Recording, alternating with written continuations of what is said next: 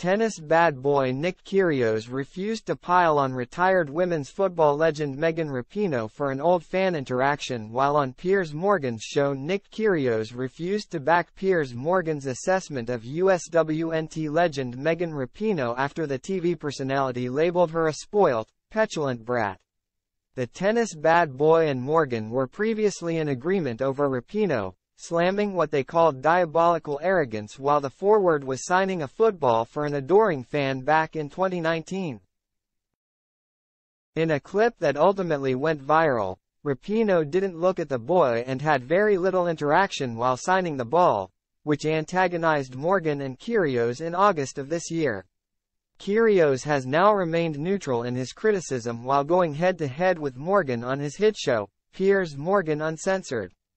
He said, yeah, look, again, I am not going to come on here and criticize athletes. I know that she's got millions of fans worldwide.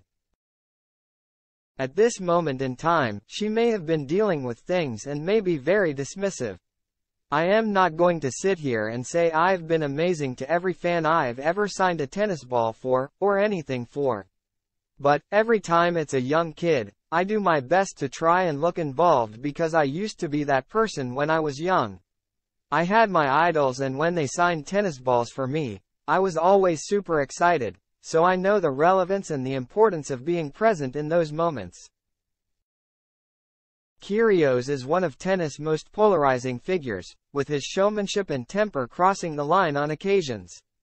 The Aussie hasn't however, managed to clinch a singles Grand Slam, losing his only final to date in 2022, at Wimbledon, to Novak Djokovic. A new side of the sometimes misunderstood Kyrgios was shown in the Netflix series Breakpoint. He had a mental health crisis, which he says he had help from another fellow tennis star, Andy Murray. Andy was always a big supporter of me, Kyrgios said. As soon as I came on the tour, he kind of saw a work in progress and took me under his wing. He saw it, the self-harm, and he said, What's that on your arm? It was pretty bad at that stage. I'd be in the locker room and people would be able to see my self-harm. So I could only imagine what people would think when they were actually versing me on the tennis court. They're like, Wow, this guy's mentally in a storm at the moment and he's still trying to play.